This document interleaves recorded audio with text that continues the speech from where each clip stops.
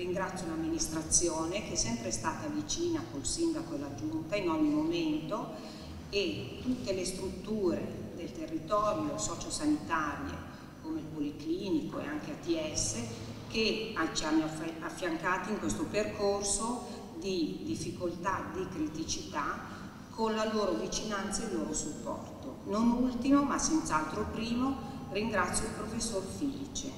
La scelta vincente è stata quella di inserire l'infettivologo, il professor Filice, il quale ha dato eh, un input clinico alle nostre eh, aziende, un input clinico che è quello che è stato opportuno per la risoluzione proprio di eh, qualche caso che si è manifestato all'interno e che ha portato alla guarigione di molti pazienti, soprattutto quello che è l'esperienza della clinica è stata trasportata in strutture che sicuramente avevano un'attrezzatura meno importante ma che si sono date da fare. Quindi il ruolo prioritario dei nostri medici, il ruolo prioritario del nostro personale infermieristico a cui va un doveroso ringraziamento e eh, sostanzialmente una eh, diciamo, vittoria per tutta la città che vede rilucidare il blasone di determinate strutture che alcune volte sono state anche messe eh, in secondo piano per piccoli particolari. In realtà hanno dato una risposta molto importante di fronte a un evento di grande, di grande spessore. In questa situazione è emerso un sistema pavese che ha funzionato un sistema pavese che ha eh, un uh, presidio ospedaliero che di gran lunga si è confermato tra le eccellenze italiane non solo italiane e ha un sistema sociosanitario che è rappresentato da noi, dall'ASPA ma anche da altre strutture, un sistema sociosanitario che è stato di compendio e di adeguato compendio alla struttura sanitaria perché comunque abbiamo lavorato per molti aspetti in sinergia rispetto alle strutture proprio ospedaliere e quindi sanitarie in senso stretto. Il sistema pavese di sanità ancora una volta ha, ha funzionato, che c'è stata, tra virgolette, una sinergia perfetta tra università, che io indegnamente rappresentavo, l'ASP la, di Pavia e il San Matteo. Nessuno ha la sfera di cristallo. Io personalmente ho molto studiato perché mi interessava come dato l'influenza spagnola. E guardate,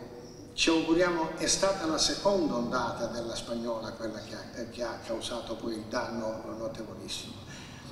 Ho un po' l'impressione che, come si diceva col sindaco, ci sia il liberi tutti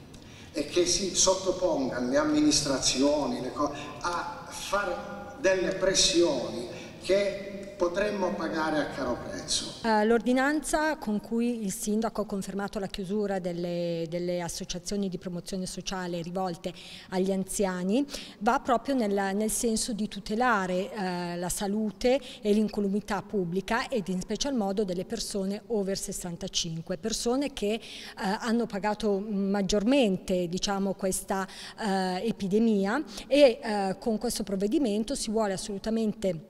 porre al primo posto la, la, loro tutela della loro salute. Sono dieci le associazioni di promozione sociale che eh, sono sottoposte a questa ordinanza, quindi di chiusura sino al 31 luglio, cioè sino alla cessazione dell'emergenza sanitaria e eh, questa decisione comunque è stata valutata e ponderata anche di confronto con i presidenti delle singole associazioni che eh, sono state ehm, appunto riunite alla presenza anche del sindaco e con le quali appunto si è discusso un po'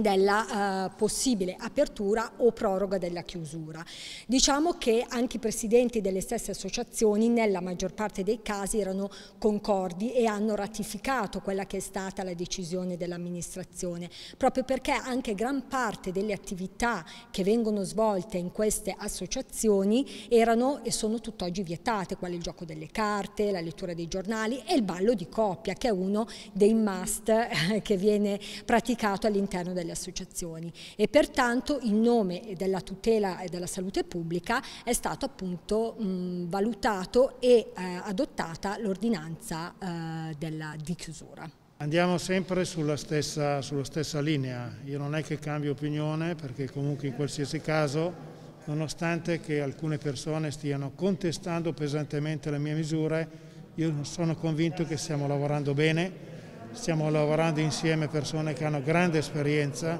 che si sono distinte a livello internazionale per le operazioni che abbiamo fatto, quindi oggi la presenza di aver qui quello che è stato il maestro del professor Bruno, così come ha definito lui, quindi il professor Felice è qualcosa di importante che è stato determinante per far sì che l'unica RSA che non ha avuto problemi di vittime da coronavirus è stata la nostra nell'ambito della nostra città. Questo vuol dire eccellenza e questo viene dimostrato dal fatto che quando c'è passione nel lavoro, che è una missione poi quella del medico perché non può essere nient'altro una persona che si dedica in pensione a fare questo tipo di operazione gratuitamente è stato determinante con la collaborazione del Policlinico San Matteo per ottenere questo risultato che è un risultato a livello eccezionale. Sappiamo bene cosa è successo in tanti altri istituti dove ci sono state catastrofi di morti, qui in questa città non è accaduto, di conseguenza questo fa parte di, come ho detto io, il brand Pavia, dove la collaborazione, l'esperienza, la voglia di fare hanno sopravvento, in questo caso hanno avuto sopravvento anche nel caso del coronavirus. Non sappiamo cosa accadrà più avanti, siamo discretamente preparati, chiedo solamente che ci sia responsabilità da parte delle persone nei comportamenti. Questo lo dico ai più giovani, lo dico agli adulti, lo dico alle persone anziane, lo dico a tutti. Abbiate cura di voi stessi, questo vuol dire salvaguardare la vita anche naturalmente di tante altre persone. Di questo dobbiamo essere coscienzi, responsabili perché la vita è qualcosa di importante.